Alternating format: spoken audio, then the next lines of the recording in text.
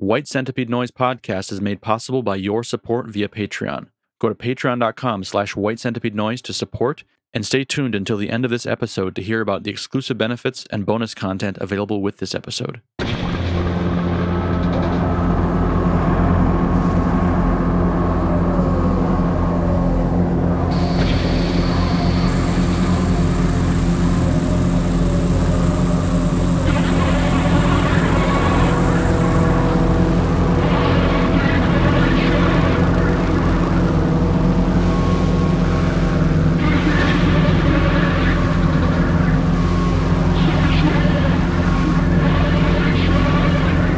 Hello and welcome to White Centipede Noise podcast.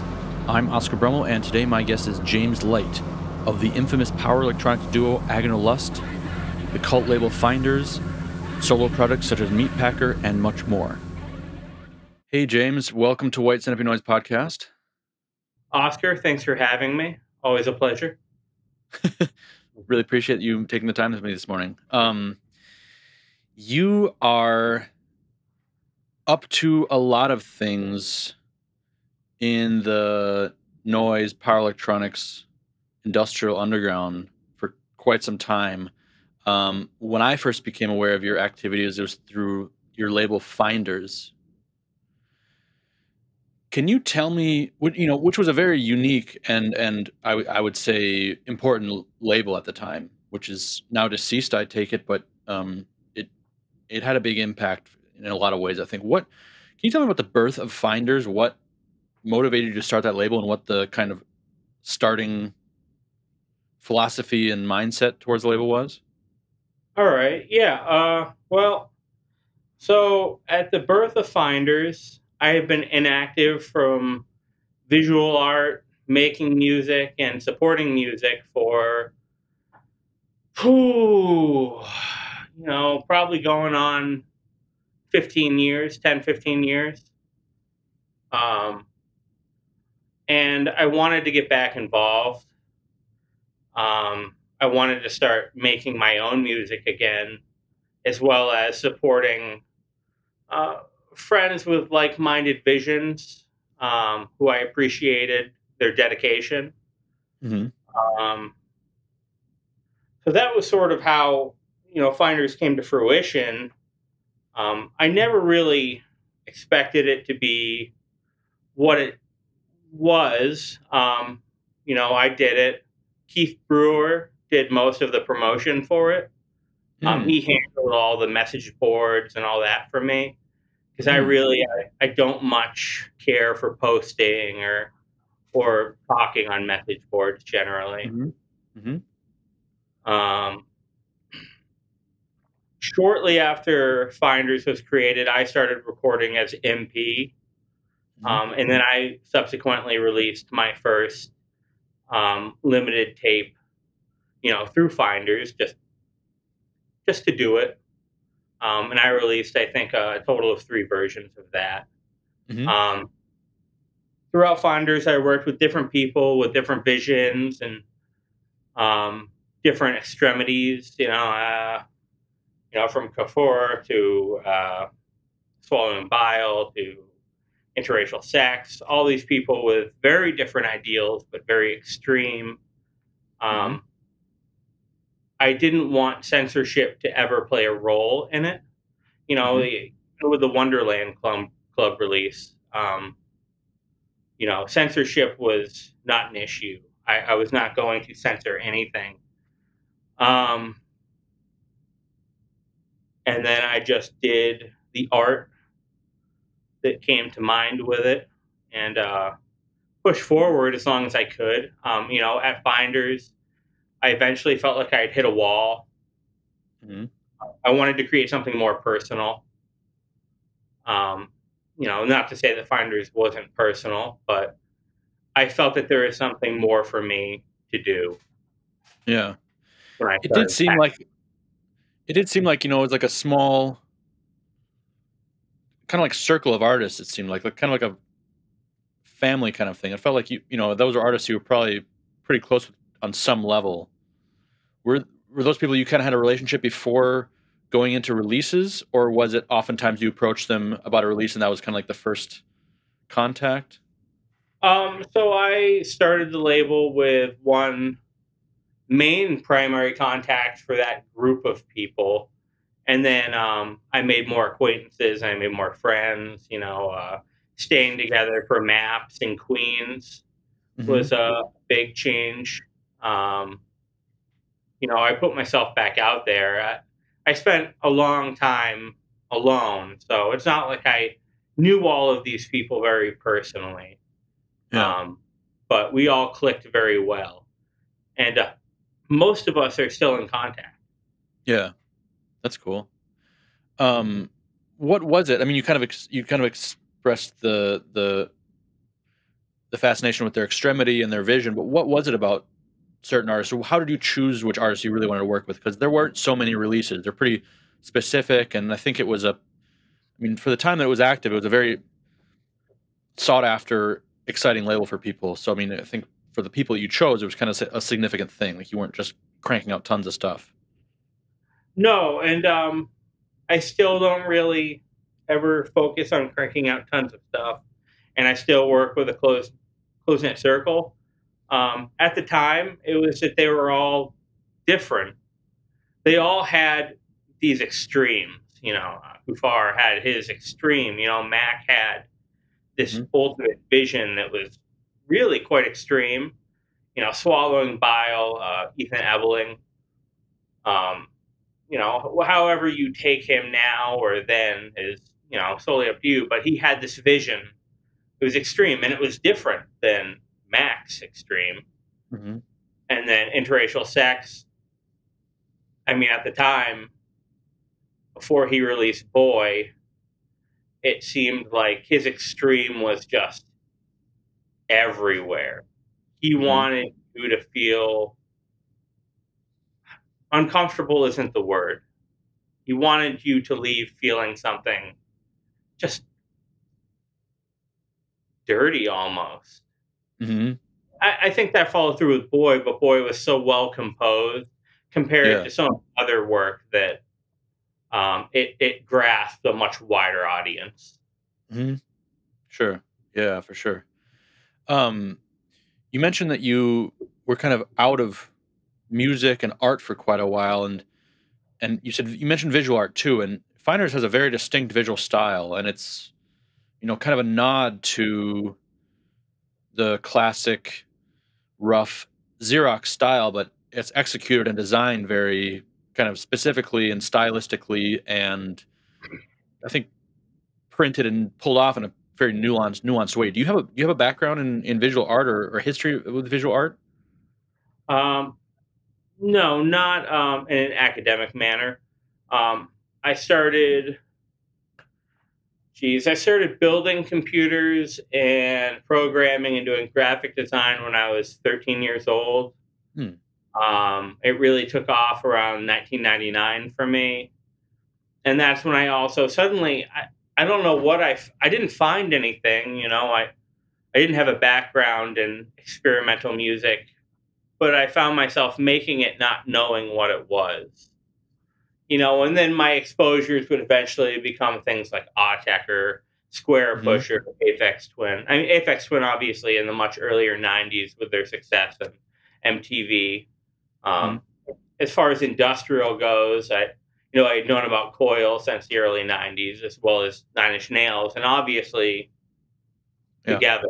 Um, yeah and I don't really consider myself to be a, a maker of, of noise per se, oftentimes, though I do partake. Um, I am really much more of a, you know, a avant-garde, music concrete, industrial, and mm-hmm. uh, that kind of thing. Attention. Nuclear War Now and Hospital Productions Fest Volume 1 is happening April 6th and 7th, 2024 in Osaka, Japan, featuring Genocide Organ, Masonna, Beherit, Blasphemy, Departure Chandelier, and many more yet to be announced. This event is selling fast, so get your tickets now at hospitalproductions.net or the link in the description of this episode. And keep your eye out on the appropriate channels for further lineup announcements. Going back to Finders a little bit, with the with the label kind of aura around it and the way it was promoted, and it was it was very hard to get, and it was you know limited, hard to get, hard to know about where to get it.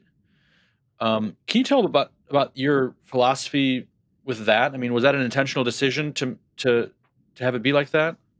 It was not. Um, so I started Finders really with the idea that who really cares? Uh, who am I? Who are these people? You know, they, they deserve attention, um, whether my art did or not. Uh, debatable, but um, I wasn't sure how to approach it. So on the first Finders update, I uh, Keith Brewer had posted about it, which off obviously gave it this grasp. You know, Keith. Mm-hmm. Mm-hmm. Uh, and uh, you know the the additions were really, I think, uh, no higher than 80, mm-hmm. uh, and the lowest being 50. Mm-hmm. Uh, and I and I usually make agreements with people who I think um, are diehards and regularly interested that I will, um, you know, I'll sell to them privately beforehand. Mm-hmm. And by the time those tapes went up for sale, they were, I mean, they were sold. They were they were yeah. going to go. There was just, yeah. Didn't really matter. Yeah.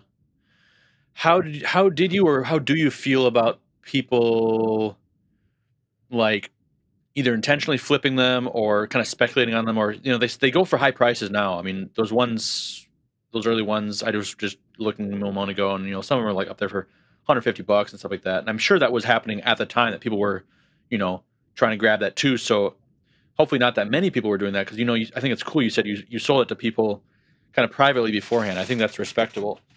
But then I'm sure that there were the people that were waiting for that public drop that, so they could, you know, get them yeah. and kind of get a piece of it and maybe sell it, maybe not. But I mean, how do you feel about that? Um, well, as far as flipping goes, I I stand pretty adamantly against, you know, hardcore flipping, um, repeated offenders. I certainly understand someone trying to get rid of their collection to collect money to serve a purpose in their mm-hmm. life, and they know that this sells more. You know that that's a little different, but yeah, you know, I ship out copies and then a week later there's a Discogs copy for eighty bucks. Yeah. Um, I look to see who it is, and I usually find out who it is, and um, I've refused sale to those people before in the past. Mm-hmm. Um, I really flipping for high cost for something that is relatively new, even if limited. I just don't. I can't get behind supporting that. I, I understand that there's a demand, but if those people who are like, "Look, I'm going to spend 160 dollars," or maybe you can help me, contacted me, yeah. um, chances are I'd find some way to oblige them. I'm sure. not always very fast, but yeah. I do stand true. Yeah. Um, how do you feel about people uploading stuff? Because I mean, that's something I'm always back and forth with, and I kind of earlier was annoyed when I'd see people uploading stuff to YouTube or something like that. You know, there's a there's a couple like pretty prominent YouTube channels at this point, and for a while, yeah. they really annoyed me. But in re- in retrospect, I've kind of sort of seen like, okay, they're kind of a, maybe an important player in the in the game. I mean, how do you feel about that when you see someone upload, say, one of your tapes or some of your music? So, originally, I was pretty adamantly against digital release. Um, it just didn't seem to fit in with the culture. But at the same time, I think I was I was forgetting that cultures change over time. You know, mm-hmm. YouTube didn't exist in 1980 or 1992. It it wasn't there. Um, yeah. There's one uh, person in particular who tends to upload a lot of my releases, whether they be my personal or labels releases, onto uh, YouTube. Mm-hmm. And um, I've decided that there's really no harm um, if it allows it to reach a wider audience that generally wouldn't buy physical releases. I get that. Not everyone wants the clutter all of that, but they they still want to hear it. They they still like it. Well, not everyone not everyone can have the clutter. I mean, like like with Finders, for example. I mean, there were people clamoring to get it, and it was always like, oh shit, I, you know, people were. In, in some ways, maybe it drives down the the flipping market. I don't know. I mean, I would, you know, I'd actually, I'd hope so, but you know, I was, uh, I was going over some prices not too long ago see what people were asking, and I, I, I think I saw one tape for one hundred and sixty dollars. Um, that's not. No one should pay that. yeah, No, I should have put a label on the release just to make it even better. Like, do not buy this for more than twenty dollars or something. You know, Right, right, something right. that cost the flipper a little wor- room, but yeah, you know, I didn't. I didn't do that. Um, and even if I had, would it have really worked? I don't know. I'm not the crass. Um, Sure. But, but I uh, I don't like to see that at all. But that release will never be re-released. I will never. I'm not going to go backwards without. I'm not going back to Finders. Um, if anything ever does happen with Finders again, I couldn't even begin to speculate what it would be. yeah. And you're not open to reissuing stuff. No, not at the moment for Finders. I left it, and uh, it's going to remain there. Um, for Mhm. Packing Plant, there are releases in the talks of being reissued on vinyl LP, and Mhm. and there are more Packing Plant releases coming out. This is a general question, but kind of something I'm always interested in trying to ask people about and think about is what is your what do you feel is like your motivation for releasing music whatsoever? Like what why do we do this?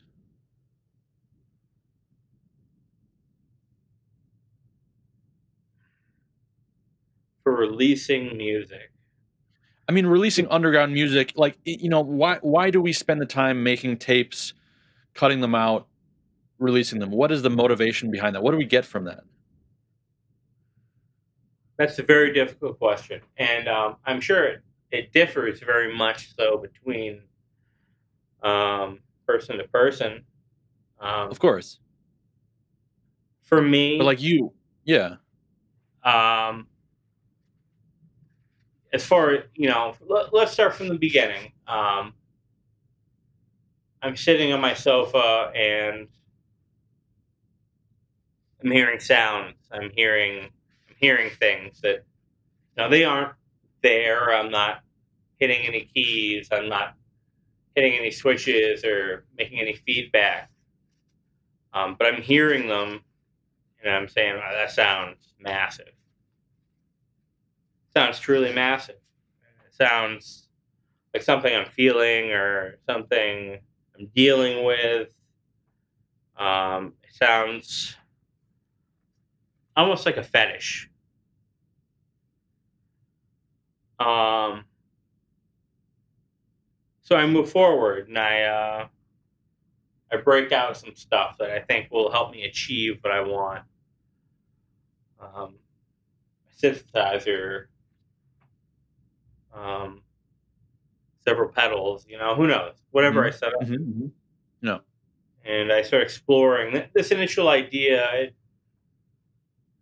a bastard child. It, it, it changes. It evolves. I, I might hit a key and whoa! I didn't. I didn't hear that before. Mm-hmm. That's what I want now. I want this. I want. I'm going this way. Mm-hmm. I compile it. Usually, uh, I can afford to record one track a day in anywhere from three to six hours. Um, and once it's all put together and I can hear it, I, I get visions of artwork and packaging and things I I just want to do. I I grew up in D, DIY and I grew Mhm. up in the hardcore scene. I grew up in the uh, weirdo scene in Onlyville in the late Mhm. 90s, early 2000s with like Lightning Bolt and stuff like that. Yeah. I just want to make something cohesive that explains or maybe even sometimes the art obscures the message of what I'm Mhm. trying to do. Um, it pulls me in. I can't stop. I mean, I I've tried to stop. I was gonna stop. I was gonna quit m- making music, and uh, it's just a part of me. It's, Yeah. Uh,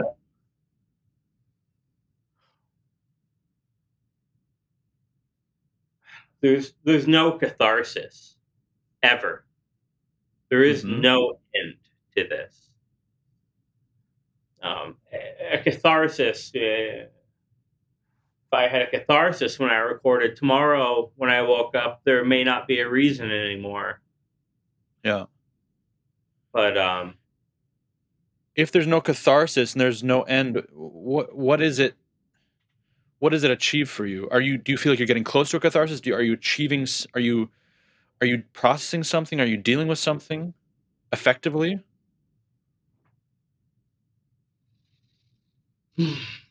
I am dealing with things effectively. Um, Effectively or not? Maybe not effectively, but do you feel like it's having some sort of give and take effect on you know you're feeling a certain way and then you create something and you get something back from that creation? absolutely. Um, you know, there's been times where I've sat down and I've recorded for six to eight hours and put away all my equipment disappointed with nothing.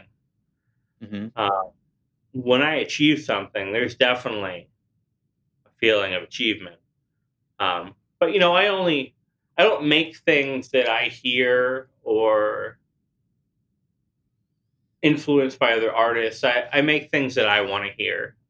If Mhm. I can't listen to it uh, six months from now, it was no good in the first place. So, MP was your first project on Finders, um, and I also really know, you know, the project that really kind of caught my attention was Agonal Lust, and that's a duo with you and the fellow f- that I knew previously from Coma Detox. Yes. Can you talk about that project and how that works and what your relationship is with with Mr. Coma Detox? Uh, Mr. Coma Detox, aka DS, aka Ronald Elster, no real names ever given, um, is my best friend. Um, one of two. I have two best friends, and he is one of them. Um, we were introduced by Keith Brewer. Mhm. Um, I released a Disgusting Sanctum tape on Finders, and then I contacted Keith for additional collaboration after Ros Kött. And he recommended, you know, I'll work on this, but uh, you should see what he wants to do. hmm I uh, sent to him, and uh, that was the beginning of Agonal Lust. Two tracks with no plan to ever release anything else. And um, all of a sudden, we're uh, repeatedly releasing. Um, Agonal Lust is a surrealistic nightmare. It is not power electronics in the way that you know it, even when presented as such. Um, the sounds are not usual or normal. Patterns are not standard. Um, it's a combination of our experiences, whether it be verbatim or not, um, and maybe fetishes or desires, various different things, um, but always culminating from both of us coming from a, a very difficult background in life. hmm Um, Coma Detox is a bit older than I am. Um, he is in his mid 40s. Mhm. I am in my late 30s. Um, he grew up having his father taking him from trap house to trap house to get uh, heroin in the Bronx. And uh, I grew up with my father, who was a heroin addict, uh, selling and buying heroin at the docks and various other places. Wow. So our, our relationship is very deep seated. Is that something you guys identified pretty early on? This kind of common history of, you know, childhood trauma, Um, or did that come about later? I think we had a pretty good idea early on, um, but our our interactions as time progressed became more personal and more intense, often with some of the subject matter. Um, but agonal lust, I, I think, is often misinterpreted as this trope of uh, violent American power electronics hmm but it's not what it is. It's self hatred overpouring so much that we lose control.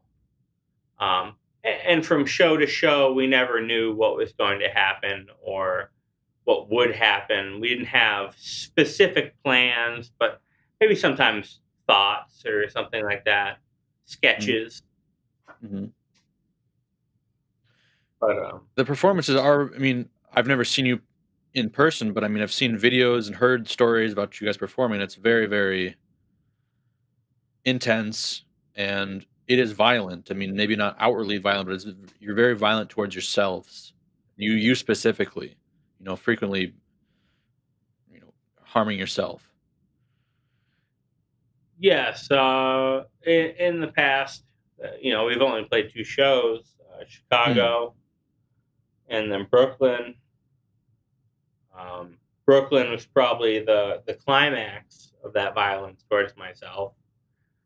Um, and we have talks of coming back one last time, um, least in America, and uh, we're not sure what shape it's going to take, but we've sort of said that there's not going to be any violence towards the audience, but uh, it's hard to say. We never know Mhm. until we. Yeah. How does that feel to share such a intimate and you know destructive event with an audience?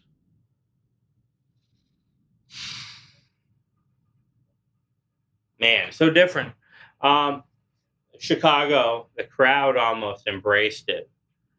They uh, they loved it. They uh, we they had fun, even if they were getting hurt. Um, people were catcalling and yelling out. In New York, people seemed very uncomfortable. There were people Mhm. uh, fleeing the venue. Um, I didn't plan on what was going to happen, but to be truthful, at the end of the show, um, I was very happy with the result. hmm I'm happy we got shut down. We had a half an hour plus set planned. We played for 13 minutes. Mhm. Um, I got what I wanted out of it. Did that feel better than people embracing it?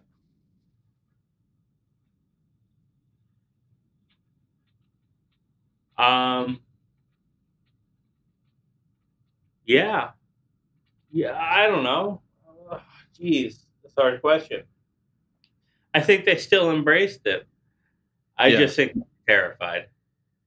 Yeah. Not all But of them though. But Funny stuck around. yeah. But seeing people seeing people being genuinely uncomfortable and, and, and troubled by it, was that also like fulfilling?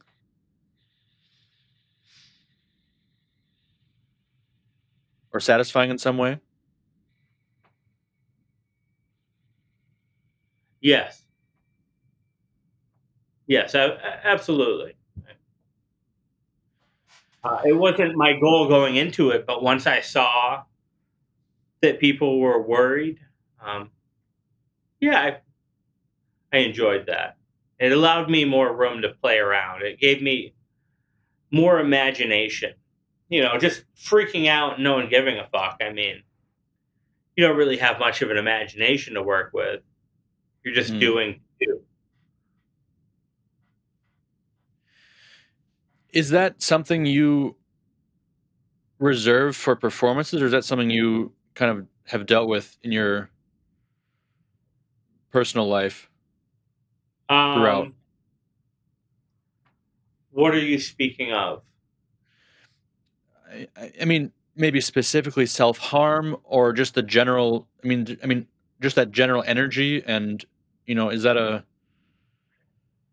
Um, I've struggled throughout my life with um, lots of things. Um, Self harm is one. Um, violence towards others has been a second. Although um, at my age now, I'm much calmer than I once was, I uh, take responsibility for myself. You know, I, I have lots of things in my life going on that really require me to keep myself in check. Mm-hmm. But um, you know, I, I, have a history of mental illness and uh, mm-hmm. self harm um, and hospitalizations. Um, mm-hmm. One of them I showed uh, at the Chicago show. It may have been wrapped up at the time. Um, I believe in gauze, but that would be this. Mm-hmm. Um, and that was um, a suicide attempt several years ago. Um, I was hmm. found. I will say it was selfish. Uh, probably one of the most selfish things I've done in my life, uh, especially at that time period. Um, and I recommend anyone feeling that kind of uh, pain, um, confusion, whatever have you, the, that you seek help uh, before you get to that mode once you enter that mode, you you no longer it's not you. And what yeah. you do, you may not be proud of after, but seek help now. Yeah. Well, happy that you've made it through that and that you're, you know, seemingly quite strong and present now in life. I mean, it's good to see that you're really active as an artist and you know, as an individual outside of that. And um, what what role does you've said it wasn't it isn't quite power electronics, but but art or music in general? What role does that play in, you know, in relation to your to your mental health? Does that help? Does that help with it? Does that exacerbate things? Does that how do those feed off each other? Um, to be honest with you, and this is why um, over the past couple of years have considered walking away is um, the, this culture and this recording and the style of things I do and the subjects I cover often um, exacerbate. Mm. Not necessarily a suicidal ideology or mode, mm-hmm. but they exacerbate this pain. Um, what I write about, I, I, don't, I don't do political. I don't do um, soundscapes for the sake of a soundscape. I, I, make pain, specifically mine, and it, it mm-hmm. definitely exacerbates. in the in the years where you said you weren't really making music how was your how was your mental health in that time well so i started me- making music in 1999 like regularly i was homeless by 2002 uh, maybe 2001, beginning in two, late 2001, early 2002. Mm-hmm. Mm-hmm. Uh, I was homeless until I was in my 20s. Mm-hmm. Um, very little opportunity for me to make music. I made music with um, a friend of mine who I lived with briefly on a sofa and a member of the No Neck Blues Band Mm. when I was 15 years old. Um, we played live. Um, uh, various things, but that, that lull overall, I mean, I, every once in a while I get to pick something up and try to do something.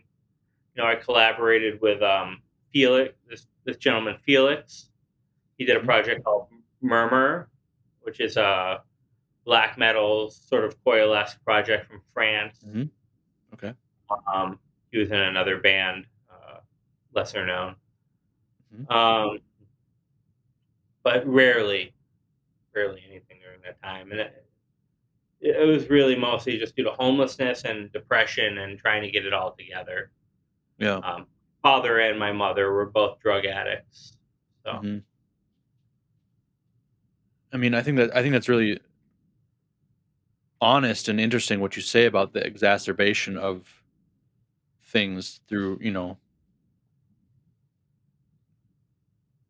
art in some way. Art can be very dangerous. You know, art can be really really quite dangerous for the human psyche. I mean, it's it's the most potent thing, but it can really put us and allow us to do and dwell on and, and revel in very negative and hurt, harmful things for us as individuals.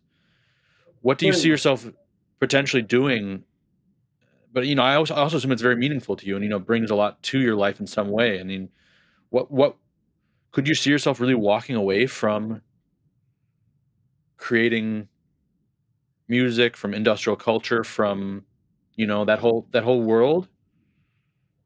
most likely not. Um, you know, there were times where I really thought I might need to. Just let it go, walk away, disappear. But um, I really don't see myself doing it. I, uh, you know, I set up my gear and I start programming and playing keys and finding radio frequencies and doing this and that. No, I I don't see it happening. And I remember how much fun it was when I got my first Circuit Electronics uh, SMB. Mhm. Um, you know, uh, Sean Royal was always very big on. He's not going to give you instructions. You're going to learn to play this how it suits you. Mhm. And um, that was fun. Yeah. I, I had fun doing that. I, it wasn't all pain. It was a, it was a process. It was always a process, and and even Mhm. when the process is painful, it doesn't mean you're not having a good time. You just have to be able to separate all the emotions that you're feeling. Yeah. Do you feel do you feel understood or supported by by your peers or say fans or like colleagues in terms of, you know, music like when you have when you're performing like say in Chicago and people are you know catcalling and getting into what you're doing and you're doing something that's very harmful for yourself and you're exercising something very deep and painful and you see people around you, you know, cheering it on, does that does does that feel good? Do you ever feel like a conflict of being misunderstood by that? Um, yeah, there's a conflict. Definitely, um, live in general. People are there to have a good time. Um, I didn't show up to have a good time. I'm not there to make you happy. I'm not there to give you what you want or Mhm. what you expect. Um, I can appreciate them hoping for something, sure, but uh, it's not not at all what is going to happen. Um, But in terms of people, in terms of people being sup- kind of, I don't want to use a term like empathy, but being empathetic to actually what you're going through versus kind of like maybe just thinking, oh, cool. Like, Do you feel any? Do you feel any of that, or do you wish for any of that? They aren't empathetic, and they don't know. I I, I feel that most people that you know, obviously, I've I've really only been going out with Agonal Lust over the past few years, and very little. Um, they don't understand what we are writing about, what we are doing, what we are portraying. They're not combining the idea of what we show them in artwork with the lyrics and the sounds, and they don't they don't put it all together. Oftentimes, I'm not saying not everybody does. I'm sure many people can, but. Mm-hmm. Uh, you know, when we go live and I hear cat calls, you know, it, it's not. I'm not. You yell at me. I'm not going to run out there and start pushing people around or doing anything like that. That's not. I'm not pushing. If I attack somebody or if something happens to me, it's not because of the crowd. It's because of my overpouring of self hatred and intensity while we're playing. It has mm-hmm. nothing mm-hmm. to do with the crowd whatsoever who you are, what you've yelled, rarely matters. Um, I think in New York was the closest it's really come to, where someone threw something on stage, and I went out and I just, you know, I went for them. Why? Mm-hmm. Because lots of reasons not to throw things back onto the stage that are heavy, other people's equipment, things like that. I just wasn't happy with it. So, can you tell me about some of the other projects that you do or have done, um, you you got a lot of different monikers, and they, you know, even like, you know, MP Meatpacker and you know Driller is also you, correct? Driller is me, yes. And there was like a collab tape on Finders, which was MP and Driller, which I think is really cool. Like that's a really great way to present something. Can you can you talk about um, you know like what Meatpacker is exactly versus um, Driller versus uh, some of your, you know, Wounded Son. Okay. Yeah. Um. So MP was my first journey back into making avant-garde, industrial power electronics um, in a very long time. You know, we're probably looking at ten to twelve years here. Mm-hmm. Um, you know, when I started recording this stuff, I was using Sonic Foundry Acid Pro and a realistic keyboard. Mm-hmm. so I came back and I did that. MP and Driller. I did it under two monikers on purpose. Um, I just, at the time, I really didn't want people bothering me or knowing who I was. So I chose to do one release under two names um, with two different styles. Mm-hmm. Uh, MP was synthesizer based. All synth, um, mostly monosynth. And then Driller was multiple cassette players, uh, you know, uh, Library of Congress, uh, tape players for the blind, um, mm-hmm. stuff like that, and re- mixes of recordings from my work uh, in the mine, yeah. and um, outside in the you know the wild, uh, just uh, you know um, atmospheric stuff, and I would flip sides rapidly to create sort of these cassette tape cut ups. Mm-hmm. Um, I think I think that release was very much me still just exploring a multitude of new sounds after mm-hmm. so long active. Um, following that, my next my next release would have been with Agonal Lust. Um, and that was just on a whim how it started, sort of coming up with these John Carpenter esque type sounds. Yeah. Um, mixed with abrasive noise. yeah. Uh, metal. And I think uh, the next would have been Meatpacker on uh, Endangered Species. Mm-hmm. Um, and that was when I totally sort of came out with this rhythmic sound Mhm. um, using drum machines and mono synth.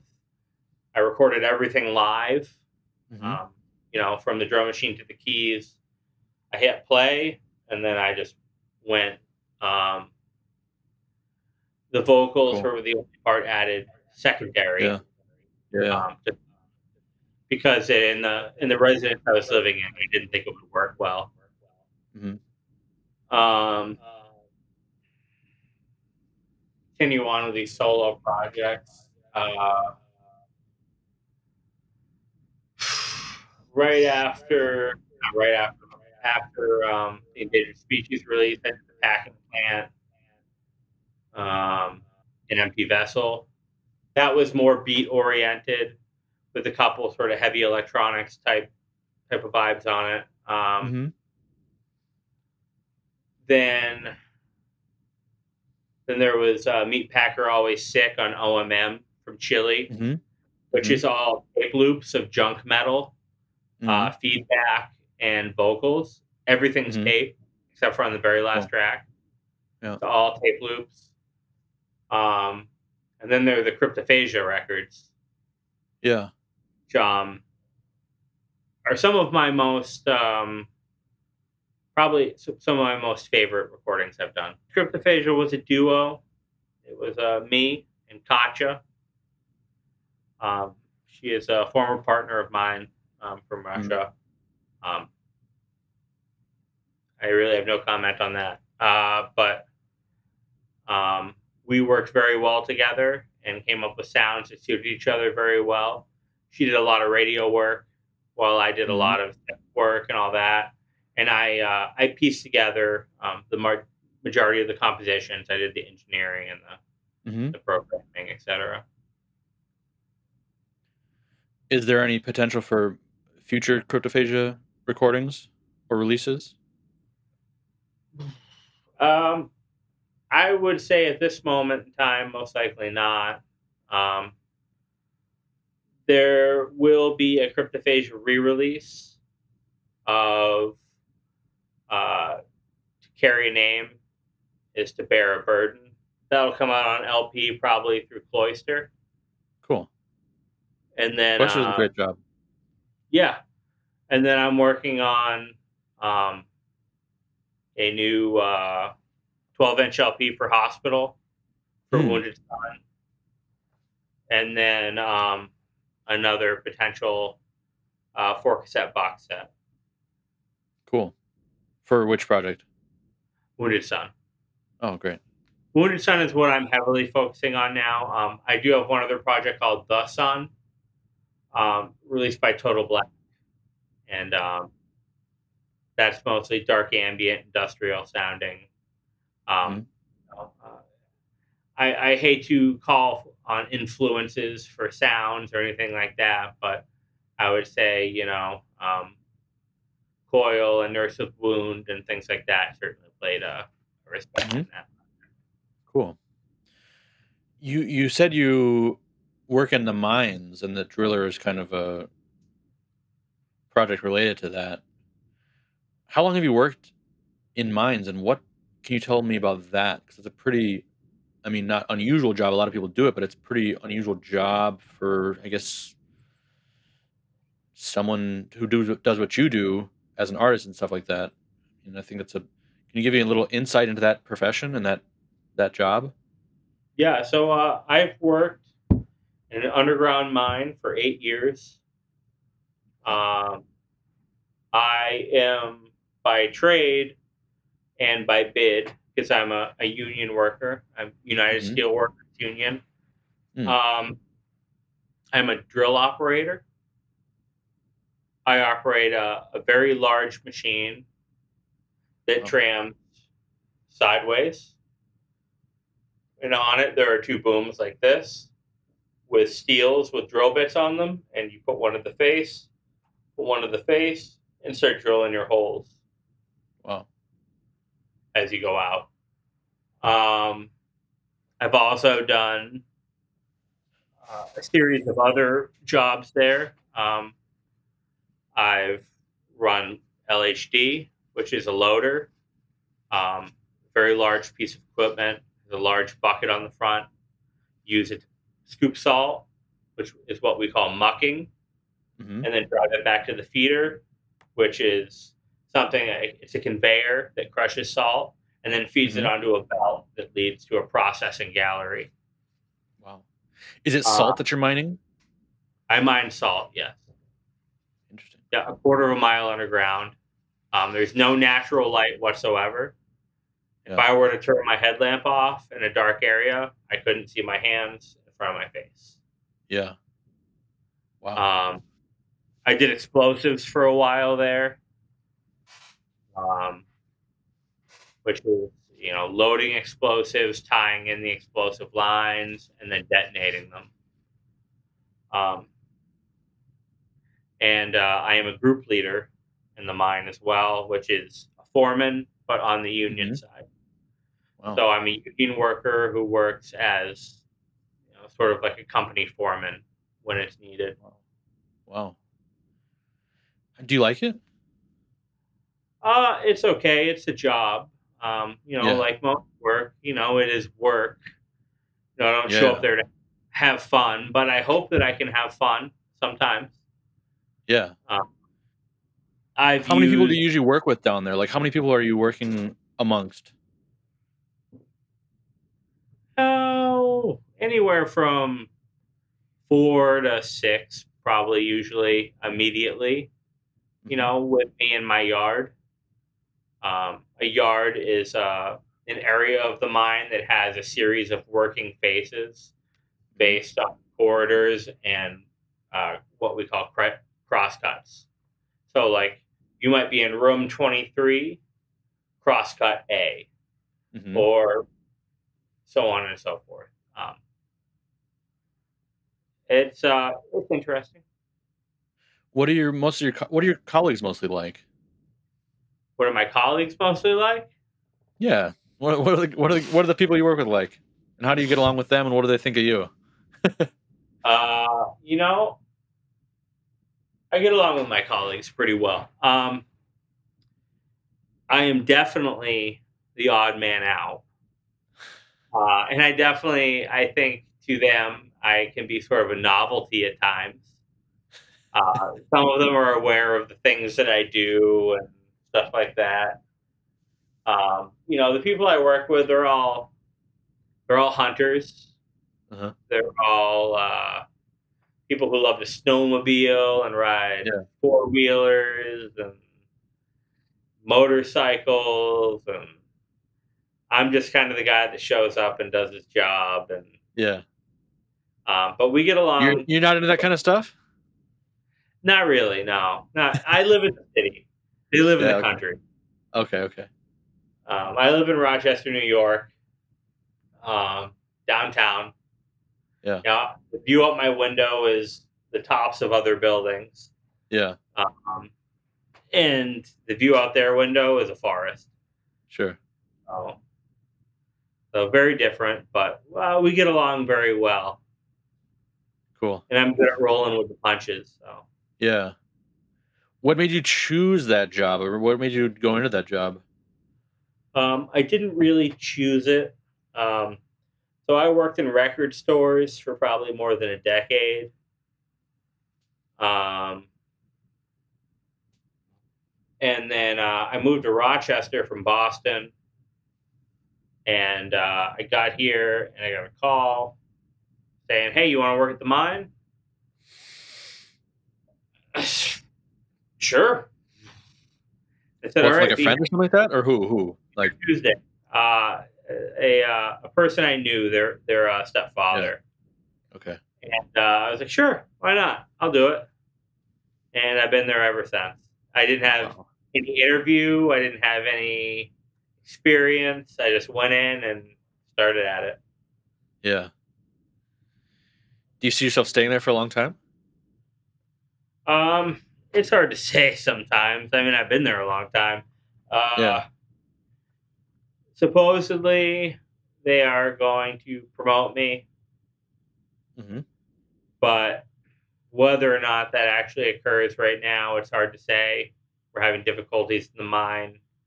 if they don't promote me, I'm probably going to start looking for a new job just to, you know, constantly move forward, not stagnate. Yeah. But, but I need to do it carefully.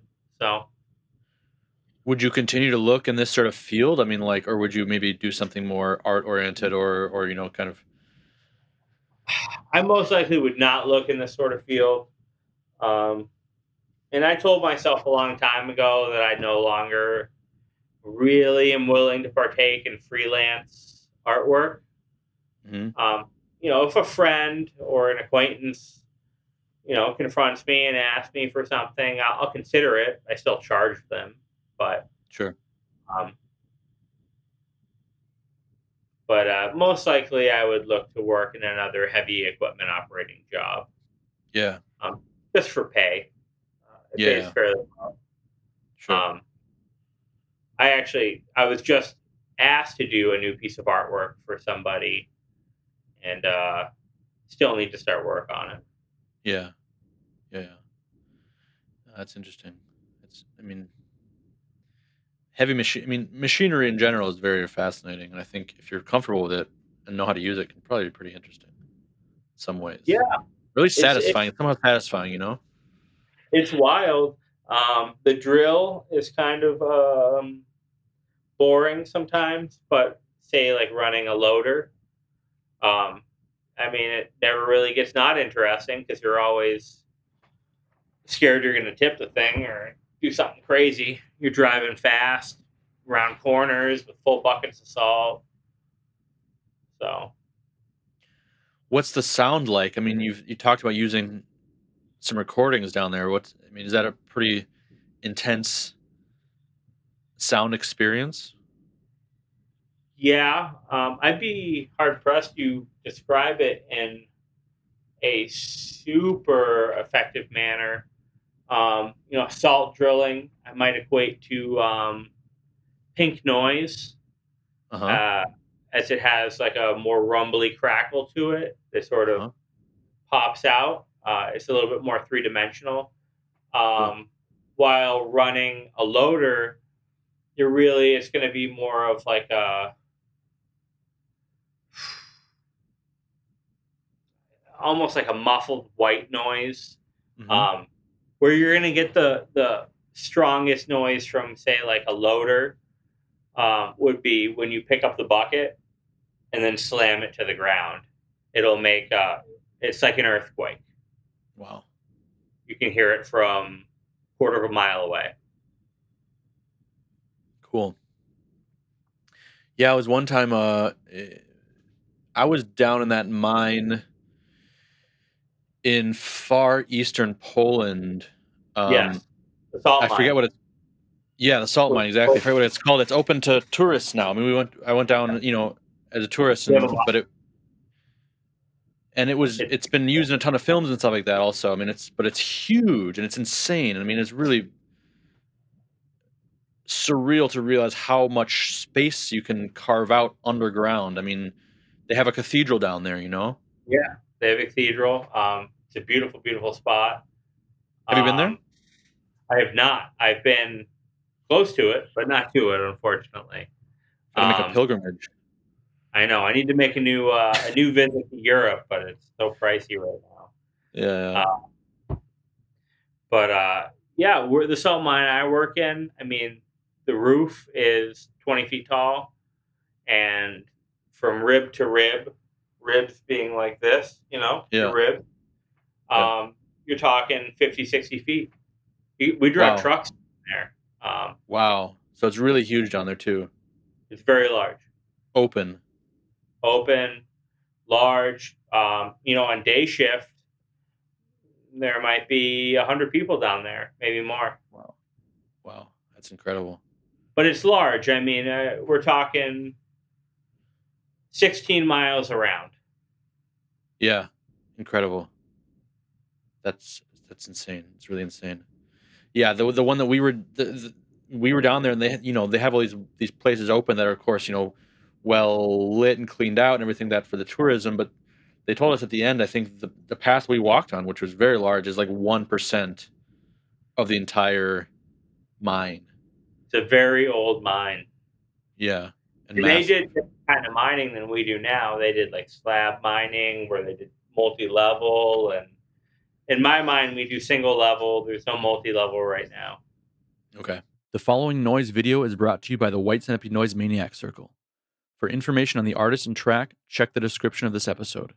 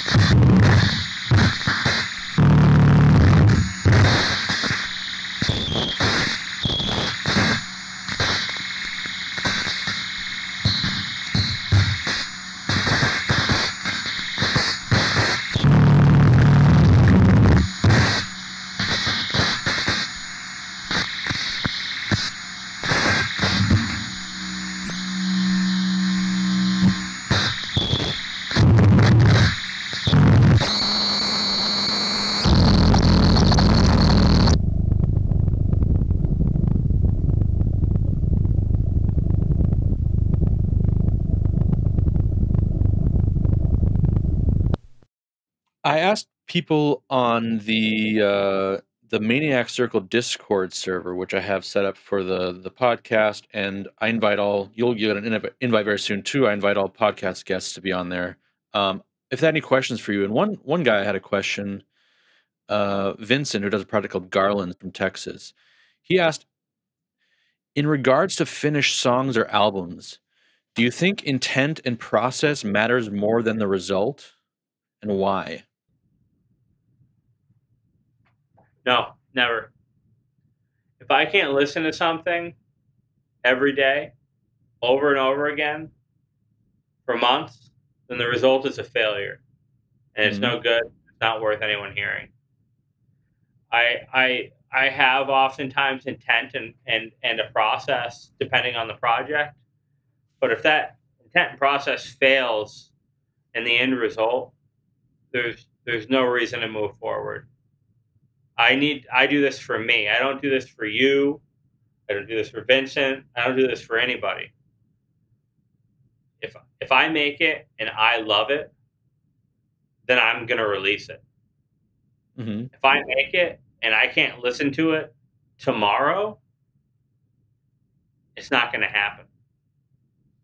So it doesn't matter what my intent is. If the result isn't right, if it doesn't if it doesn't show my intent or Mhm. or not even show, but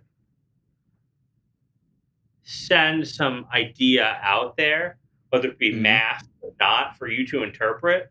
If it's not perfectly there, it was not worth it in the end. It's not worth Mhm. really for me. For me. Sure. But even if you, you know, you say you're doing it for yourself and and not the the recipient, could it then not be that the process for you is very important and that produces something that you are very satisfied with that maybe sort of more objectively not known or received, but you know you know what it is and it's and it's importance for you. Do you feel that way ever, or is it really just like are you able to kind of hear it from the outside, so to speak?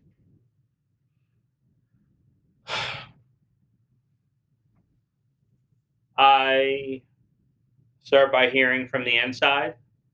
I move forward. I set up my equipment. I have my ideas. They may change. They may not stay the same. That's just the way things are. The only thing we're guaranteed in life is change. Mm-hmm. Nothing else is guaranteed. Um, I sit down and I record.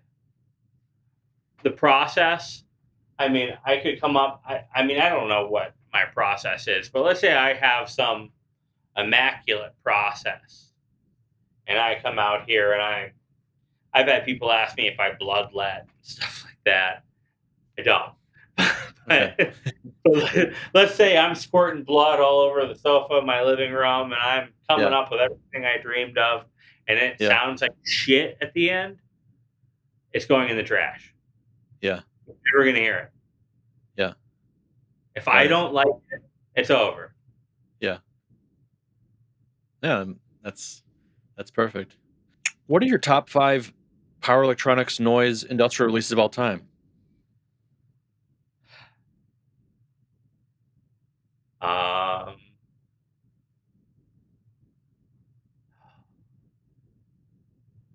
I don't know. you hit me with a bomb question there, man. Uh, all And time. bonus bonus points if you can if you can like show it to the camera. Show get some of them? yeah, yeah. Bonus points if you can flex. Okay, okay, I'll flex. Hold on. All right, all right. but what what can you tell us about what that's coming up next from you, or packing plant, or live shows, anything like that? That um, packing plant. There's going to be a release by a group called the Amygdalotomy, which is myself, Coma Detox, and Pleasure Fluids, mm, um, as well as a compilation, which will have um, artists who I say everyone is very, very familiar with. hmm um, but I'm not I'm not going to state who they are. Um, but I would say if you if you didn't know who they were, I would be very very surprised. sure. Um, I have the Wounded Son LP, She's almost done. Um, Cool. I have uh, Wounded Son four times cassette box set, um, which is not anywhere close to being done, as it's going to be four C20s. Mhm. Um, and then uh, I'm working later today on a comp track for Brett for Total Black for the moving of Sentimental Youth. Hmm. which will be predominantly noise based. Okay. What else? Is there anything else? That's a lot Oh. already. There is one other thing. Um, I cannot disclose too much about it at this moment in time.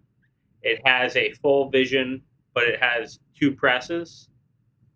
Um, there is a six cassette box coming and a large vinyl oversized clamshell with a lot Hmm. of inserts and photographs that will document AL, Agonal Lust. Mm. Um, and then after that is gone, there will be a vinyl reissue of that, Wow. which will Cool. be uh, probably about. Well, I guess it was. It's going to have to be six LP. Wow. Insane. So, um, That's hard. But- the, the labels and the label for the all of that is already planned out. We we have plans to follow through with it all. Great. Cool, man. Well, um, anything else you want to add or can can let us know about? Anything else we didn't cover that you want to share?